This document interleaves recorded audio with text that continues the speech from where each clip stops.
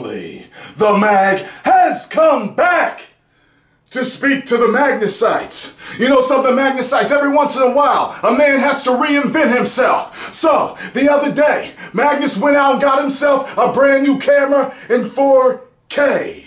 Magnus is also giving auditions to brand new exotic girlfriends. And the mag says this, stay tuned, because the Magnus is going into a cutting phase. Brand new body soon, he's been looking for also a new car, and then finally, finally, a brand new home. For, so for all you that believe in Magnus and believe in the dream of 1 million subscribers, whoa! Stay tuned because after all the dust has settled, all the smoke has cleared, and everyone is chanting Magnus's name. You will Magnus is the great one, the chosen one, the people's champ, the people's choice, and the most electrifying man in YouTube. If you smell what the mag is cooking.